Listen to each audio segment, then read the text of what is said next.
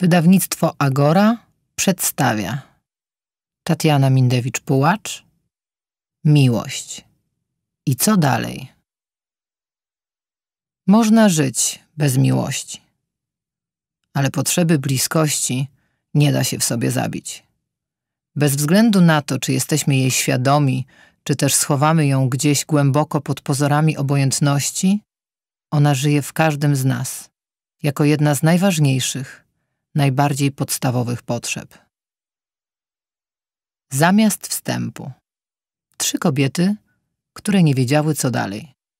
Ada, dziewczyna, która nie mogła spać.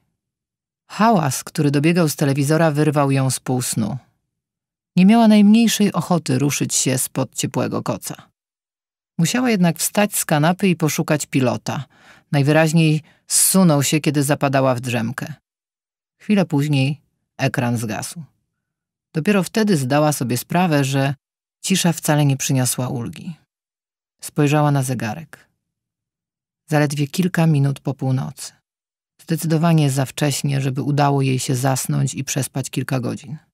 Postanowiła poczytać jeszcze przez chwilę z nadzieją, że książka odciągnie jej uwagę od doskonale znanego stanu przygnębienia. Bez szans.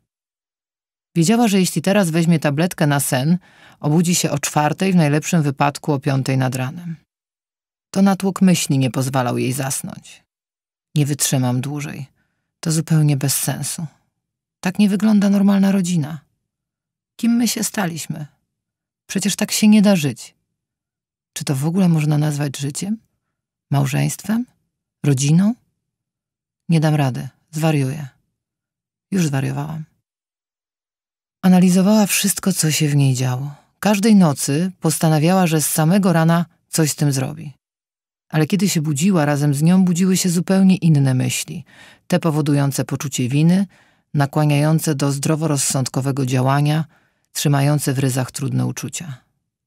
Świadomość, że nie jest w stanie zrealizować swoich nocnych postanowień, irytowała ją w takim samym stopniu, co uspokajała. Długo bowiem nie była pewna, czy bardziej ma ufać temu, co się z nią dzieje w nocy, czy temu, co myśli rano. Uporczywie poszukiwała prostej i jasnej odpowiedzi na pytanie: co dalej? Ada jest mężatką od ponad pięciu lat. Większość jej znajomych uważa, że razem z mężem prowadzą cudowne rodzinne życie. Wspólnie wychowują czteroletnią córkę Zuzię, kochają ją, mają dom z ogrodem, dwa psy i kota. Dobrze im się powodzi, bo są właścicielami sieci świetnie prosperujących aptek. Jeżdżą po świecie, jadają w dobrych restauracjach, a święta spędzają przy uroczyście zastawionym stole. Skoro jednak wszystko wygląda tak wspaniale, dlaczego Ada coraz rzadziej spotyka się ze znajomymi? Coraz mniej się uśmiecha i cierpi na bezsenność. Dlaczego pracuje coraz więcej, choć mogłaby wcale nie pracować? I twierdzi, że jest bardzo zmęczona. Co sprawia, że nie chce jej się z nikim rozmawiać, że całkiem straciła entuzjazm do życia i prawie zapomniała, co to seks. Monika. Rozsądna kobieta w nierozsądnym związku. Wyszedł już jakieś pół godziny temu, a ona nadal czuła jego obecność. Przez te trzydzieści minut nie ruszyła się z miejsca. Bała się, że jeśli to zrobi w jednej sekundzie, wszystko się skończy. Bez sensu. Doskonale wiedziała, że to kompletnie bez sensu. Niestety ta wiedza w żaden sposób jej nie pomagała. Żeby jeszcze chociaż na jakiś czas odroczyć moment konfrontacji z rzeczywistością, wzięła do ręki telefon i niespiesznie, delektując się każdym słowem, zaczęła przeglądać SMSy. Wszystko pachnie tobą. Musimy to koniecznie powtórzyć. Przy tobie czuję się prawdziwym facetem. Wiesz dobrze, ile dla mnie znaczysz. Ona jednak nie wiedziała. Kiedy kilka miesięcy temu zaczęli się spotykać, ta wiedza nie była nikomu potrzebna. To, co się między nimi działo, nie potrzebowało żadnych interpretacji. Pracowali ze sobą od dawna, wielokrotnie widywali się na zebraniach zespołu albo mijali w kuchni czy w windzie. Jednak dopiero kiedy powierzono im do realizacji wspólny projekt, sprawy przybrały zupełnie inny obrót. Nikt niczego nie planował, niczego nie zakładał. Przeciwnie. Monika wiedziała doskonale, że Marcin ma rodzinę, co automatycznie skreślało go z listy kandydatów na faceta. Na jej faceta. Monika jest kobietą niezależną i bardzo ciężko na tę niezależność pracowała. Prowadzi dział projektów specjalnych w Międzynarodowej Agencji Reklamowej. Odpowiada za kontakty z kluczowymi klientami firmy. Pracuje intensywnie, dużo podróżuje. Trudno się dziwić, że chociaż w tym roku skończyła 40 lat, do tej pory nie założyła rodziny. Chcąc się znaleźć tu, gdzie jest dzisiaj, musiała z niektórych rzeczy zrezygnować. Nie jest jej z tym źle, bo kocha to, co robi. Zresztą sama zdecydowała, jakie będą jej priorytety, więc nie ma do nikogo pretensji. Ugruntowana pozycja zawodowa i doskonałe zarobki pozwalają jej korzystać z przyjemności życia, które są dla wielu ludzi niedostępne. Zatem nie narzeka, wiadomo, coś za coś. Kiedy ma ochotę, wylatuje na relaksujące zakupy albo ładuje akumulatory w pięknych zakątkach świata. Monika, jak już coś robi, to na 100%. Konsekwencja, pewność siebie i wytrwałość to zaledwie kilka z wielu jej zalet.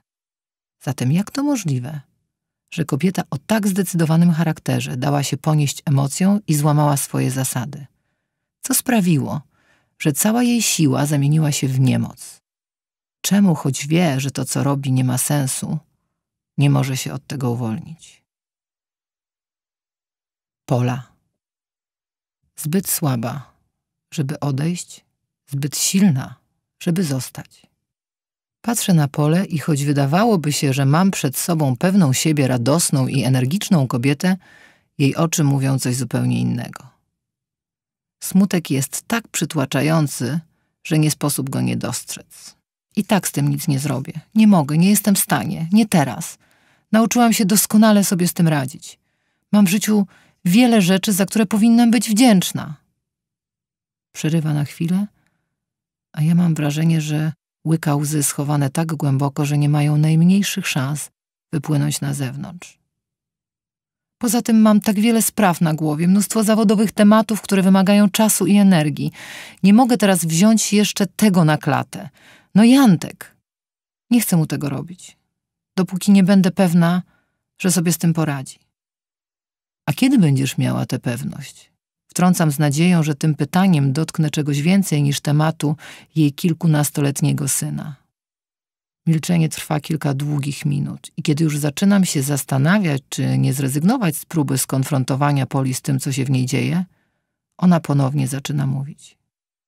Nie masz pojęcia, jak bardzo chciałabym zasnąć tak na dłużej i obudzić się dopiero wtedy, kiedy to minie. Albo... Boże, co ja gadam? Przecież nie mogę być taką egoistką. Młody nie byłby w stanie tego udźwignąć. Nie ma wyjścia. Muszę wytrzymać. Tym razem emocje wyprzedziły głowę, łzy kompletnie zignorowały system kontroli i uwolnione popłynęły po policzkach.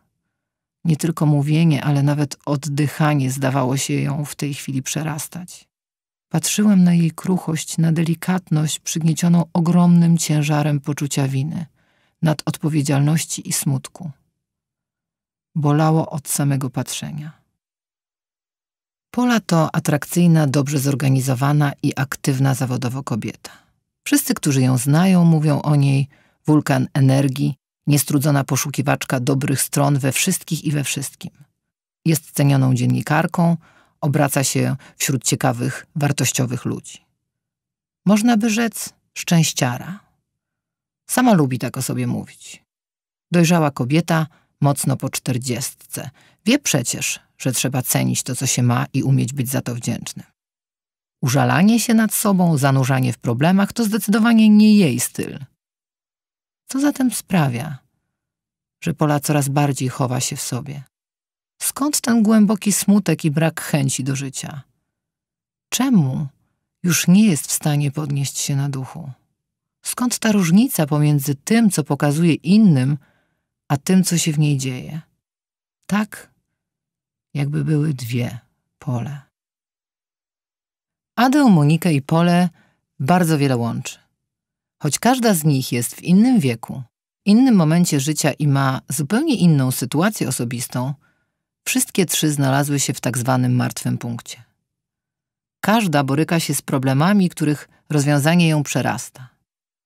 Zagubione pomiędzy tym, co czują, a tym, co powinny czuć, tracą orientację w życiu. Ulatuje z nich wola działania.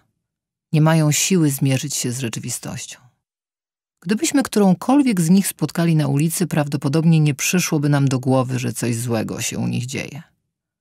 Podobnie jak wielu z nas, po mistrzowsku kamuflują swoje problemy, w szczególności te, które dotyczą życia uczuciowego. Bo przecież żyjemy w czasach, kiedy szczęście jest pewnego rodzaju obowiązkiem. Tak jakby było łatwo osiągalnym stanem, który powinien nam towarzyszyć przez 24 godziny na dobę. Karmimy nasze oczy taką liczbą kolorowych obrazów, że nie zastanawiamy się nad tym, czy są trójwymiarowe. Pozornie świetnie nam się wiedzie. Ale czy to nie fasada? Super życie, wspaniały związek, cudowna rodzina, fantastyczny partner, piękne wakacje, nieziemskie doznania. Wszystko wydaje się takie osiągalne i proste. Wystarczy chcieć. Niestety, albo raczej na szczęście, choć mamy całe mnóstwo prostych sposobów na poprawienie samopoczucia, zbudowania wartościowej relacji z drugim człowiekiem nie da się załatwić od ręki. Niemożliwe jest szybkie, łatwe i bezproblemowe uczynienie swojego związku bezpieczną bazą, bogatym w uczucia źródłem mocy i wzajemnego wsparcia.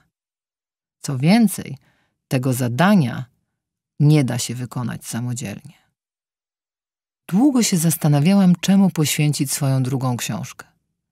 Pierwsza, Luz i tak nie będę idealna, powstała z potrzeby serca i w odpowiedzi na Wasze pytanie o to, jak uwierzyć w siebie, jak zbudować poczucie własnej wartości. Odbyłam w niej razem z Wami podróż do czasów dzieciństwa, żeby pokazać, że choć tam są źródła wielu naszych problemów, to poradzić sobie z nimi można i trzeba, teraz, a nie zanurzając się w przeszłości. Starałam się zasygnalizować, że w pogoni za doskonałością bardzo często nie chodzi o zdobycie konkretnego celu, tylko o zyskanie akceptacji. Za kolejnymi wyzwaniami chowają się niezaspokojone potrzeby, oczekiwania mieszkających w nas małych dziewczynek. Chciałam Was zachęcić do zaopiekowania się tymi tęsknotami i odpuszczenia sobie presji bycia najlepszymi. Utwierdzić w przekonaniu, że każda z nas jest wystarczająco piękna, mądra i dobra. Otwartość i zainteresowanie, z jakim przyjęłyście moją pierwszą książkę, jest dla mnie wielką radością i nie mniejszym zobowiązaniem. Poczucie własnej wartości to proces, nad którym pracujemy przez całe życie. Zrobiłyśmy pierwszy krok. Pora pójść dalej. Tematem, który jest nierozerwalnie związany z pracą nad sobą i który najczęściej pojawia się w Waszych listach, jest miłość, a dokładniej związki uczuciowe, intymne. Jest tak pojemny, że można o nim pisać w nieskończoność i nadal nie zostanie wyczerpany. Powstało mnóstwo publikacji, których głównym zadaniem, niezależnie od indywidualnego ciężaru gatunkowego, jest pomóc nam zrozumieć, a potem przeżyć miłość. Trudno więc było mi podjąć decyzję, co mogłabym Wam zaproponować, żeby wnieść coś nowego w tak bogatą ofertę, a przynajmniej dodać jakieś kolejne wartościowe spostrzeżenia. Po wielu miesiącach przygotowań i rozważań, którym towarzyszyła powiększająca się z dnia na dzień sterta fachowej literatury poświęconej związkom, dotarło do mnie, że utknęłam i stoję pod murem. Miałam poczucie, że chociaż wiem prawie wszystko, nie jestem w stanie ruszyć z miejsca. Dlaczego? Bo ilość wiedzy nie przekładała się na to, co czułam, nie ułatwiała mi dokonania wyboru.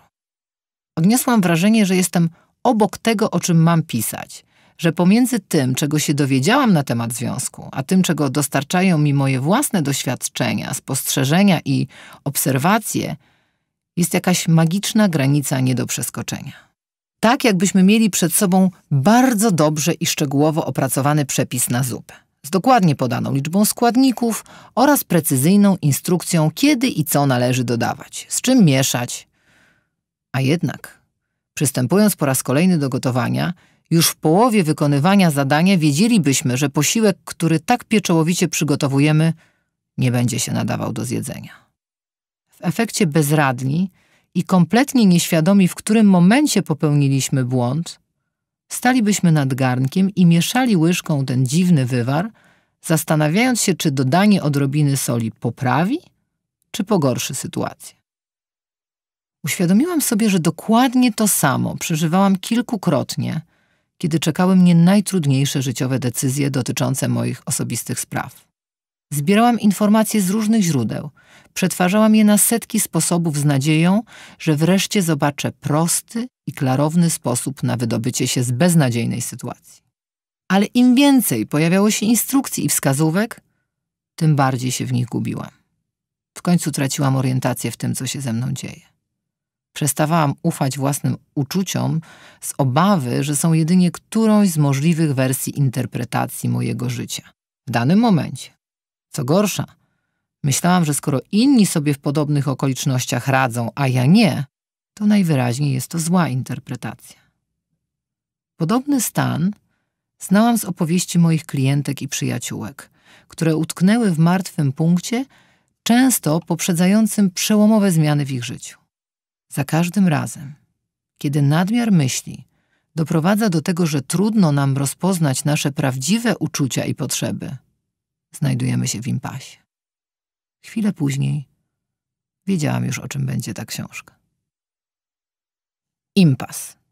Miejsce, które już dawno chcielibyśmy opuścić, ale brakuje nam sił, pomysłu na to, dokąd dalej iść, lub też przeszywa nas lęk o to, że gdziekolwiek pójdziemy, będzie jeszcze gorzej niż jest. Uwięzieni w labiryncie własnych myśli, coraz bardziej zmęczeni kolejnymi próbami uwolnienia się z niego. Nasze ciała i emocje automatycznie wykonują te same czynności, a kiedy wracamy do punktu wyjścia, wiemy doskonale, choć to bolesna wiedza, że wciąż jesteśmy w tym samym miejscu. Czasami martwym punktem jest dla nas frustracja przeżywana w związku, który zawiódł nasze oczekiwania, choć przecież miało być zupełnie inaczej. Zamiast spełnienia po chwili euforii trwającej kilka miesięcy, a w najlepszym przypadku kilka lat, przychodzi rozżalenie. Szukaliśmy w ramionach partnera ukojenia, uczyniliśmy go jedyną osobą odpowiedzialną za nasze samopoczucie. A kiedy nie dał nam tego, na co czekamy, znowu przeżywamy ból porażki. Upatrujemy jedynej nadziei na poprawę sytuacji w tym, że on lub ona się zmieni. Nasze potrzeby przybierają postać oczekiwań nie do spełnienia, wyrażanych w formie żalu lub pretensji. Dyskusje przeradzają się w bitwy, w których bronią jest wzajemna krytyka, a po każdej z takich bitew zostają dotkliwe, coraz trudniejsze do opatrzenia rany. Nadal kochamy, ale nie potrafimy się tym kochaniem w żaden sposób cieszyć. Kiedy indziej jest to zbyt długa samotność, która sprawia, iż tracimy nadzieję na to, że jeszcze kiedyś możemy ułożyć sobie z kimś życie. I rozdarci pomiędzy własnymi przyzwyczajeniami, a pragnieniem bycia z drugą osobą, popadamy zamiennie w rezygnację lub desperację. Świadomi tego, kim jesteśmy, dojrzali i samowystarczalni, radzimy sobie doskonale w wielu obszarach życia. Jednak nasze życie uczuciowe jest pasmem krótkich zachwytów i wielkich rozczarowań. Tęsknimy za bliskością bardziej niż chcemy to pokazać światu. Z coraz większą desperacją łapiemy okruchy czułości tam, gdzie nie ma żadnych szans na więcej. Wchodzimy w związki bez przyszłości lub takie, które z góry skazują nas na cierpienie. A kiedy wreszcie udaje nam się z nich wydostać, tracimy nadzieję i siłę do próbowania raz jeszcze. Czynimy nasze granice zbyt elastycznymi lub budujemy mur, który zamiast nas chronić, odgradza od szansy na przeżywanie miłości. I wreszcie impas jako miejsce, do którego dotarliśmy samotnie, choć przez wiele lat żyliśmy w przekonaniu, że żyjemy w związku.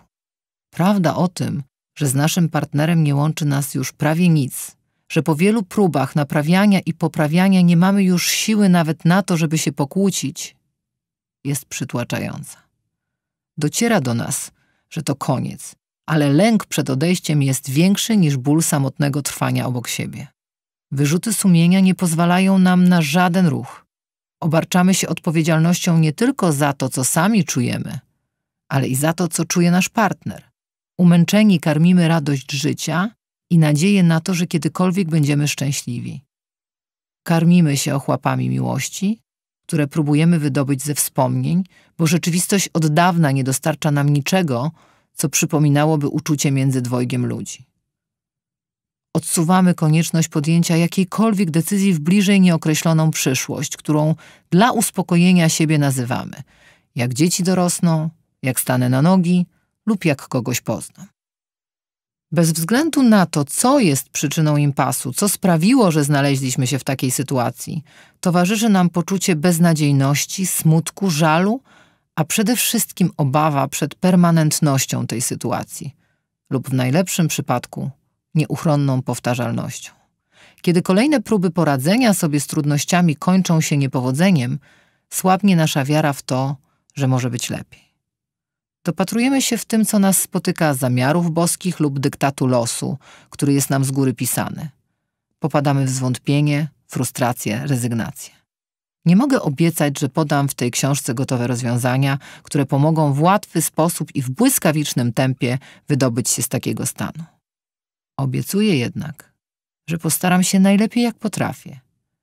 Pomóc Wam w znalezieniu tego, co może być przydatne, żeby ruszyć z miejsca. Opowiem, jaki ma wpływ sposób naszego myślenia i zachowania na to, jak się czujemy w relacji z bliską osobą.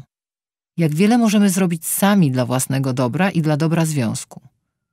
Pokażę także granice naszej osobistej odpowiedzialności, której przekroczenie w żaden sposób nie pomaga. Przeciwnie, ceduje na nas znacznie więcej niż jesteśmy w stanie unieść. Czyni nas ofiarą złudzenia, że coś, co nie od nas zależy, dzięki naszym staraniom się zmieni. W moim przekonaniu właśnie tę granicę pomiędzy robieniem za mało, a dawaniem z siebie zbyt wiele jest tak trudno dostrzec, odnaleźć. Do podjęcia decyzji, która pomaga nam wyjść z patowej sytuacji, potrzebna jest pewność, że to słuszny krok. Miotanie się jest efektem braku tej pewności. Nie mamy zaufania do swoich uczuć i oceny sytuacji, która z nich wynika. Bardzo często, kiedy jedno z partnerów postanawia skorzystać z pomocy i rozpoczyna terapię, ma poczucie, że skoro ta druga osoba się na nią nie zdecydowała, i tak nic się nie zmieni. Faktycznie, trudno pracować nad związkiem w pojedynkę, jednak bezcenną wartością pracy nad sobą jest przyjrzenie się własnym uczuciom, zrozumienie tego, co się z nami dzieje, przygotowanie do zmiany bez względu na to, jaką finalnie podejmiemy decyzję, ma ogromne znaczenie. Silniejsi wewnętrznie, bardziej świadomi siebie i spójni, jesteśmy w stanie poradzić sobie z trudnościami, bo wiemy, że są one integralną częścią każdego ważnego procesu. Wiemy, że idziemy w dobrym kierunku i prędzej czy później pojawią się także pozytywne efekty tej zmiany. W sprawach tak osobistych i delikatnych jak miłość nie ma mowy o podpowiadaniu komuś, co powinien robić, przekonywaniu do czegokolwiek. Dlatego w żaden sposób nie zamierzam zalecać Wam konkretnych rozwiązań. Chciałabym raczej ułatwić zrozumienie siebie i spojrzenie na sytuację, w której się znajdujecie z innej perspektywy. Pomóc w znalezieniu odpowiedzi na trudne pytania. Z doświadczenia wiem, że znacznie łatwiej dochodzimy do pewnych wniosków, kiedy mamy szansę na przykładzie innych zaobserwować to, co robimy sami. To lepsze niż przyswajanie mądrej teorii wyłożonej w poukładanych w całość okrągłych zdaniach. Łatwiej nam odnaleźć kawałek własnej historii w losach ludzi, którzy przechodzili przez to samo.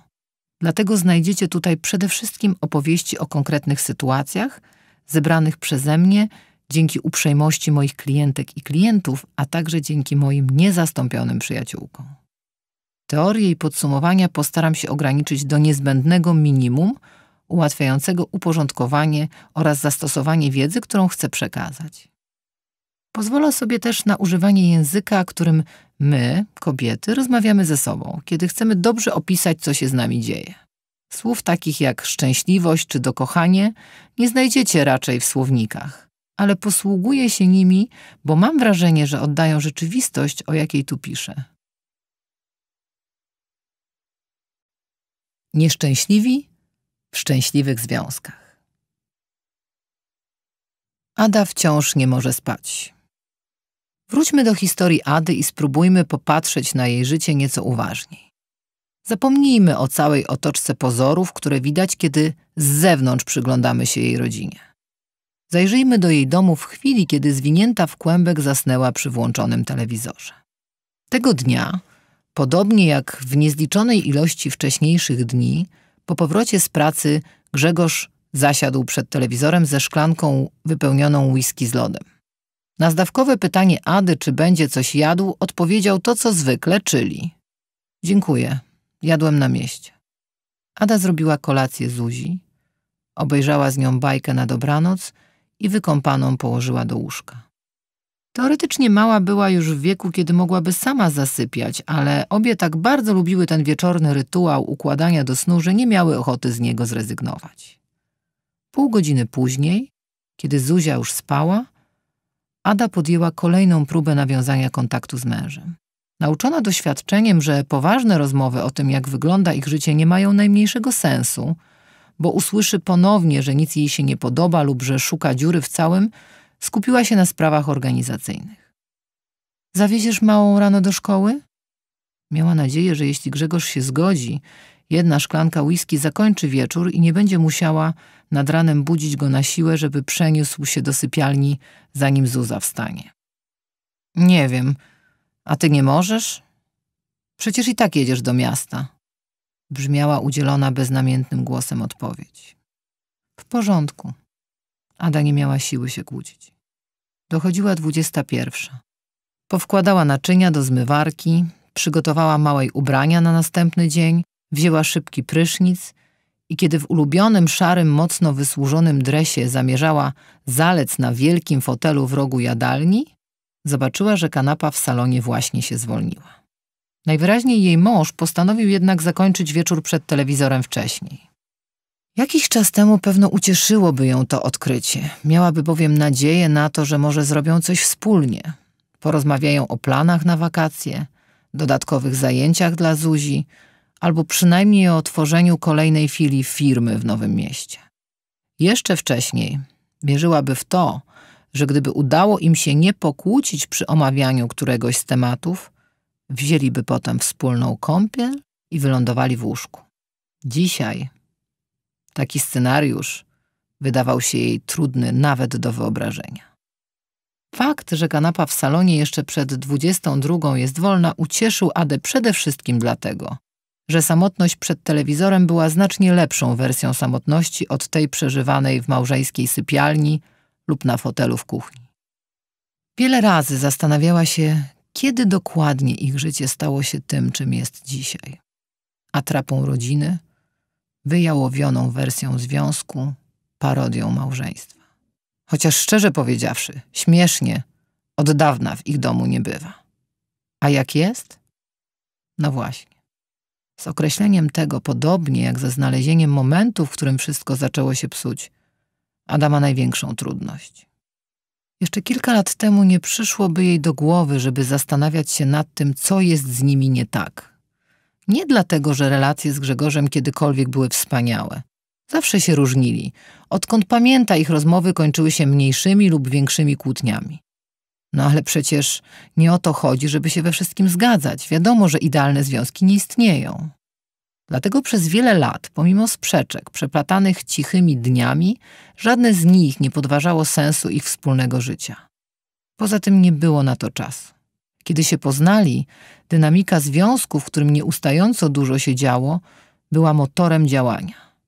Niezależnie od tego, co ich różniło, łączyły ich wspólne pomysły, plany na przyszłość. Dwoje ludzi, wspólne marzenia. Oboje zaczynali od zera. Ada początkująca, ale bardzo ambitna farmaceutka, Grzegorz utalentowany i pracowity przedstawiciel handlowy w firmie farmaceutycznej. Któregoś lata zastępowała swoją szefową podczas jej urlopu i chcąc się wykazać operatywnością, postanowiła wprowadzić kilka rozwojowych zmian w aptece. Jedną z nich było usprawnienie systemu dostaw, tak żeby zamówienia, które spływały od klientów, mogły być szybciej realizowane. Okazało się, że Grzegorz nie tylko zgodził się na proponowane przez nią zmiany, ale też wniósł do jej pomysłu kilka cennych spostrzeżeń. Choć widywali się już wiele razy wcześniej, dopiero teraz, kiedy Ada chwilowo pełniła funkcję kierowniczki apteki, mieli okazję dłużej porozmawiać. Adzie zaimponowała jego pewność siebie, a jednocześnie ujął ją sposób, w jaki próbował ją komplementować. Może brzmiało to trochę mentorsko i chwilami czuła się jak uczennica doceniona za postępy w nauce przez pana profesora, ale nie było to pozbawione uroku. Najbardziej podobało jej się, że Grzegorz, podobnie jak ona, wiedział, czego chce. I choć dopiero zaczynał karierę, nie było wątpliwości, że osiągnie cele. Pamięta, jak po ich pierwszej dłuższej rozmowie pomyślała sobie, że przy takim facecie kobieta może się czuć bezpiecznie. Miesiąc później, kiedy szefowa wróciła do pracy i siłą rzeczy zawodowe kontakty z Grzegorzem się ograniczyły, Ada poczuła, że brakuje jej czegoś więcej niż rozmów o planach dostaw. Najwyraźniej Grzegorz miał podobnie. Bo któregoś wieczoru, kiedy w pędzie wybiegała z pracy, żeby zdążyć na ostatni autobus, zastała go pod drzwiami apteki. Co pani powie na wspólną kolację, pani magister? Zapytał z błyskiem w oku, tonem, który brzmiał zdecydowanie pewniej niż można by się spodziewać, zakładając, że to jedynie niezobowiązujące pytanie. Nie odmówiła ani tym razem, ani w kilka następnych wieczorów, kiedy z tym samym zawadiackim uśmiechem zadawał to samo pytanie. Ich randki przez pierwsze miesiące to głównie rozmowy o pracy i fantastyczny seks. Kolacje były jedynie smacznym dodatkiem do tego pełnego adrenaliny zestawu.